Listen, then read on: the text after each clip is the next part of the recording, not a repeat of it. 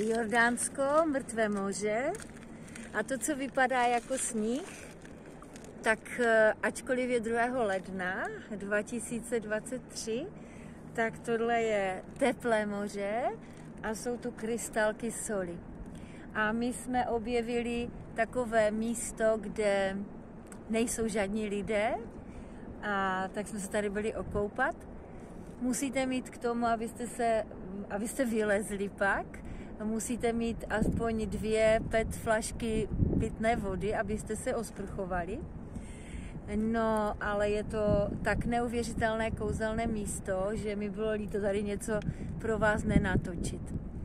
A protože kolem pofukuje, tak eh, já to nakonec potom vezmu, ať vidíte kolem tady ten rozhled, ale eh, teďka bych to nechala takhle stát, ať slyšíte. No, eh, co mě napadá tady v tom čistém místě, kterému se říká mrtvé, mrtvé moře, mně to přijde podobné, jako když v té pohádce se používá mrtvá voda a živá voda. A ta mrtvá voda je taková, která zacelí rány.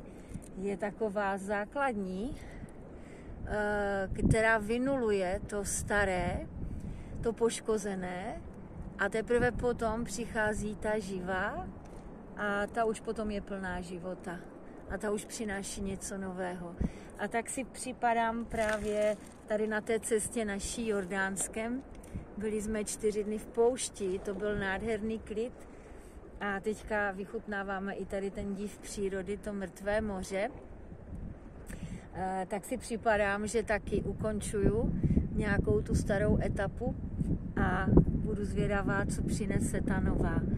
E, no a ještě, co mi přišlo zajímavé, když jsme tady přiletěli, Eh, do Jordánska a, a sesouvali jsme se k zemi s tím letadlem, tak jsem si uvědomila mm, ten krásný výhled na tu zemi.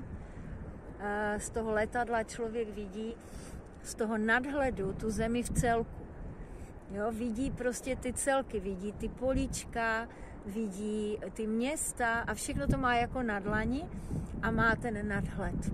No a Eh, pak najednou dosednete níž a už nevidíte mnoho hor, už vidíte jenom jednu horu, už vidíte, že to, co byla tečička, už jsou auta nebo dům.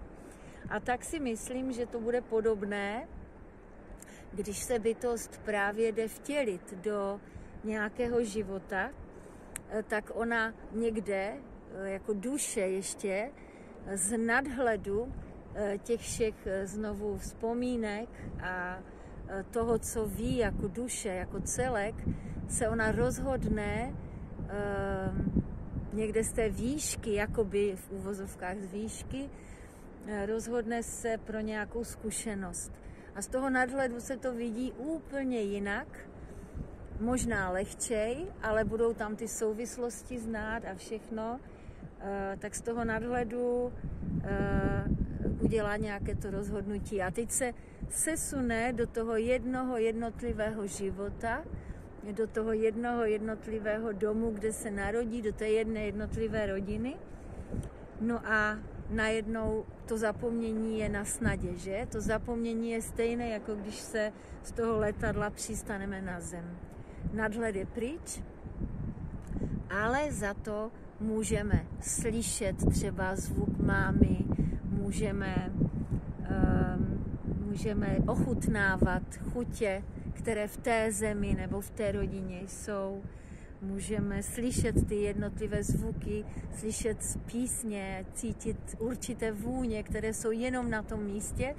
No a to je kouzlo toho hmotného světa. Byť je vykoupeno tím zapomněním, ztrátou toho nadhledu, Eh, tak eh, ty jednotlivosti a ty detaily eh, ty můžeme vychutnat. A zařadit je potom, až jednou to tělo opustíme, zase do té celkové mozaiky těch našich zkušeností. A tak já teď taky jsem v tom zapomnění, protože jsem v tom těle a vychutnávám ty jednotlivosti, ty, ty detaily. Připomíná mi to trošku i ten rozdíl, když člověk zaměřuje očima Eh, tou vlastně když se zaměřujeme, víc je teda na jednotlivosti, na detaily, tak se zapojí ta levá hemisféra. A když, jo, to si můžete tak vyzkoušet, když se díváte třeba na dva prsty před sebe, vidíte detail a zaměřujete se na detaily, čili je zapojená ta, ta levá hemisféra. A když ty prsty roztahujete, je to i cvičení dobré na oči, tak v jedné chvíli musíte opustit to vnímání těch detailů a začnete vnímat periferním viděním. A to je velmi, na jednu stranu je to velmi zdravé cvičení pro naše oči. A v té chvíli je zapojená právě ta pravá hemisféra, která vidí celek. Která vidí celek. My máme tu schopnost i v tom našem eh, takovém tom zapomnění vnímat věci v celku a to hlavně tou pravou hemisférou, anebo vnímat ty jednotlivosti. Musíme mít právě ten, musíme mít právě ten, tu, tu harmonii té levé hemisféry s tou pravou. Tak to mě jenom tak napadá eh, k tomu, k tomu rozdílu eh, vnímání světa jakoby z hlediska celku anebo z hlediska těch detailů. Tak, a v tomhle prostředí téhle té bílé, jakoby neživé celistvosti, já se s vámi loučím a zvednu teďka ten telefon, abyste viděli tu čistou krásu, slanou čistou krásu, ale bude trošku fučet. Takže vám to ukážu, jak to tady celé vypadá. Kolem jsou takové, takové hory, které nejsou moc pěkné. Nicméně tam uvnitř je schováno někde za náma uh, takový kanon, myslím se jmenuje Mujib, Mujib Bady Mujib a má být moc krásný. A ačkoliv to nevypadá, tak nás to mate někdy, ten první pohled, tak tam někde je krásné zeleno, nedaleko od nás, několik kilometrů tady z toho místa.